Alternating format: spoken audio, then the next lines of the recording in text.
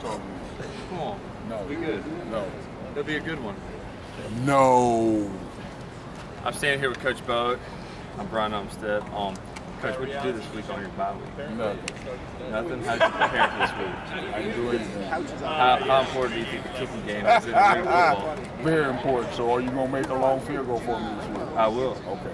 We shouldn't have to. No. No, but if we come down to it, Yeah, for the game winner? Yeah. All day. all right. All day. How do you think For your the kicking championship. Yeah. Oh, yeah. How do you think your kicking game's been this year so far? So far, uh, we was we started out hot, but uh, we kind of fizzled a little bit in the middle. We struggled a little bit, so I had to bring in some guys to, to, to, to boost the morale a little bit of the kicker, and um, I think he responded pretty well. Yeah? So you, you pretty uh, happy about last week's performance? Oh yeah, but if we go back to where it was, I will bring in some more kickers. Sounds good. Hopefully I'll see y'all the rest of this year.